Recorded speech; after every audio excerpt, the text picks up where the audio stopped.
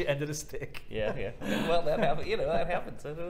If you married an older mean- woman, she could have got her vaccine. Yeah, if you were 10 years right. older. That's right. You would have got 10 years older, you could have had it by now. So, good Wednesday morning, ladies and gentlemen, and welcome to the Coffee with Craig show. Um, wow, we're half. We're already halfway through the week. Wednesday, yeah, yeah. really? it doesn't feel like it. the does it? days are flying by. Yeah, yeah. The days are flying. The weather's good. We're gonna have to start doing this from outside.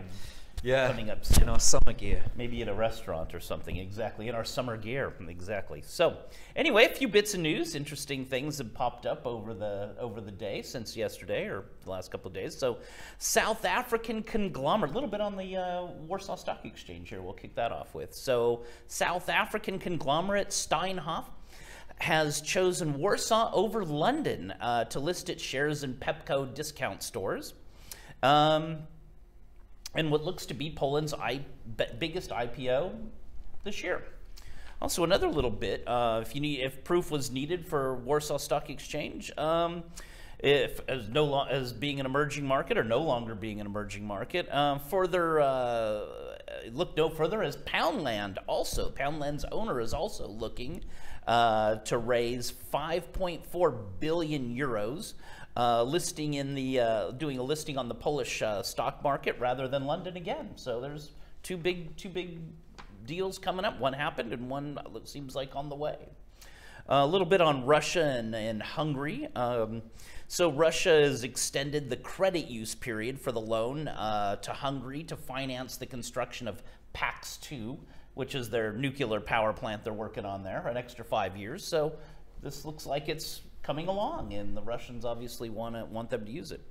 Um, another thing about in Hungary, National Bank of Hungary has left the interest rates unchanged uh, Tuesday, which is you know, widely expe- uh, expected, and the you know the government's really pledged to prevent any uh, or any sustained rise in inflation as the economy is recovering from the pandemic, in, you know, induced shock.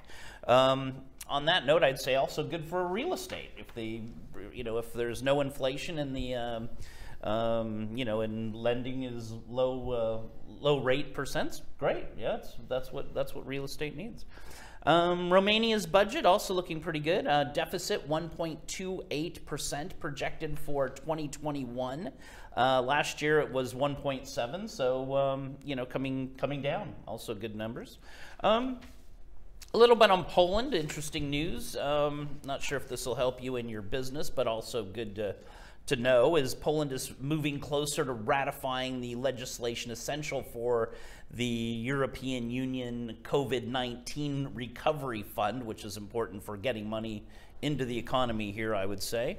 Uh, the prime minister and uh, the government, uh, the government has approved the uh, the approved and agreed on the proposals, even from the opposition bloc of how to spend the money.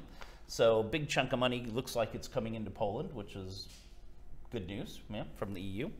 Also, of course, we have lots of exciting commercial real estate news for Central Eastern Europe and Winston. Great to see you. Good morning. Yeah, thanks for joining us again this morning. You're welcome. And with the exciting news, so we'll uh, jump to a 20 second break and then we'll be back for some exciting commercial real estate news with Winston Norman.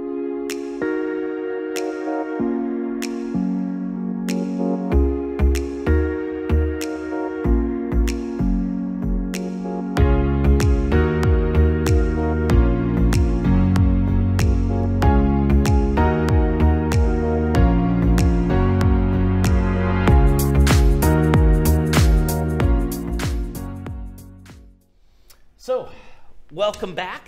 Um, let's get right into it. So let's jump straight in, Yeah, and Uh, we'll begin uh, with the investment market today. And Ghelamco have sold uh, Vol- Woloska 24, an office building in Warsaw, uh, to a Czech investment fund, uh, ZFP Investments, and they sold that for 60 million euros.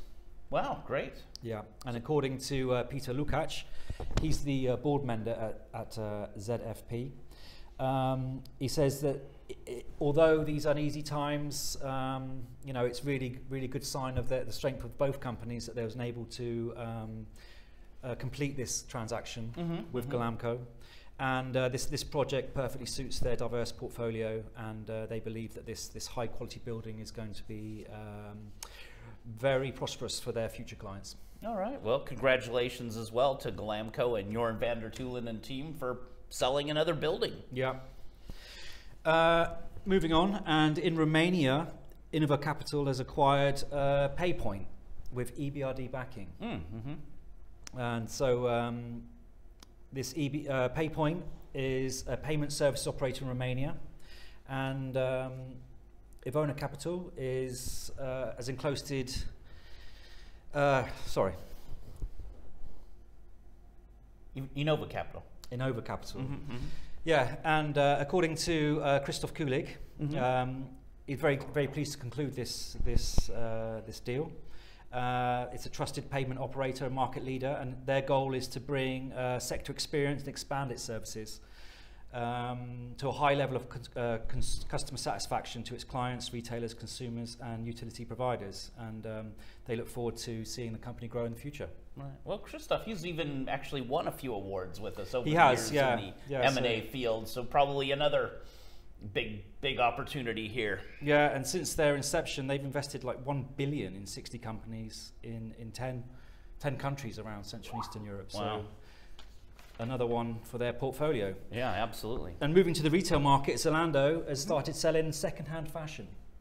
Wow. Okay. Yeah, so Mhm. this is another big uh, this is another big news for the market and the online market because um, uh, obviously uh, in this day and age, you know, clothing is um, is creating a lot of uh, a lot of waste, Mhm, a lot of unwanted waste. Right. Uh, so yeah, so now you can go to the Zalando and uh, they've got 13 countries in general Okay. that are doing this, and you can yeah you can you can buy and sell uh, pre-owned pre-owned clothes. Can I put my clothes on there?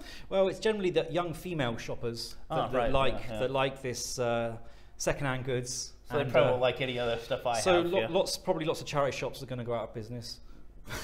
Great. Yeah, some more out of business thanks to shops. Zalando. Some more out of business retail shops. Okay. But yeah, another you know Mm-hmm. another good move for Zalando and and something the market needs definitely. Right. Well, I saw just a stat a few weeks ago that just said 10% of new clothes, only 10% of new clothes are actually sold in re, you know, at retail. Uh-huh, so that's uh-huh. really a lot of a lot of waste. So good lot to of see extra. Zala- yeah, good to see Zalando's uh, you know, being green friendly and climate friendly. Yeah, yeah, and And, and I guess they'll make some money on this too. hopefully. Yeah, hopefully. Uh, and moving to the uh, logistics market in 7R to deliver two more last mile projects in Mhm. Warsaw. Uh, they've acquired two attractive plots, one near the one near the airport in Warsaw and the other in Targówek. And uh, they will lease, uh, well, they will build two two buildings on each plot. Mhm, One of mhm. 24,000 square meters, and the other one is 31,000 square meters.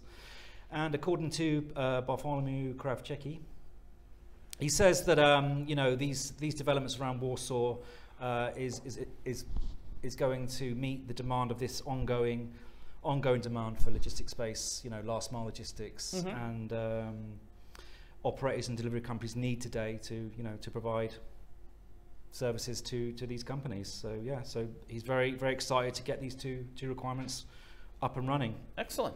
And finally, for today, uh, more on the logistics market and Belgian developer WDP have announced that they're going to buy several land plots in Romania Mm-hmm. and uh, in, Tra- uh, in, in Transylvania they are they're going to develop some new logistics centres and uh, the company hopes to deliver almost 203,000 square meters in Romania following uh, this is by 2022 Right. following investments of 131 million euros. Yeah, well, WDP they've always been pretty active in Romania as well, and uh, you know we see them at our at our events every every year. Every so, year, mhm. yeah, and so there's Uh-huh.